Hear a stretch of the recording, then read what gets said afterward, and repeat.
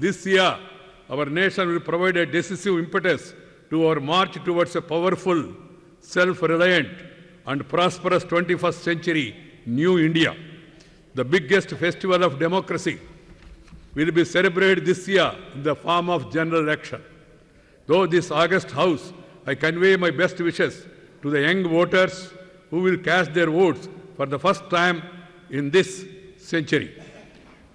All citizens of India, as citizens, they will exercise their right to vote and determine the direction of the national policies and decisions. My government's efforts are ushering in change for the betterment of the country, and this process will continue.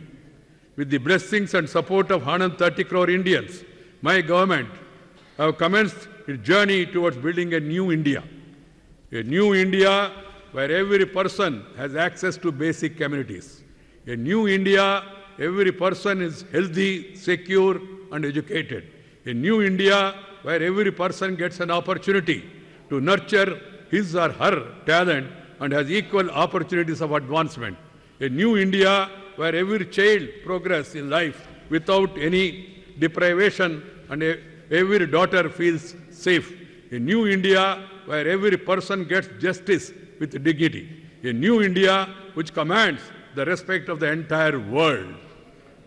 Honorable members, let us all come together to pave the way for a new India and take India to glorious new heights in the 21st century.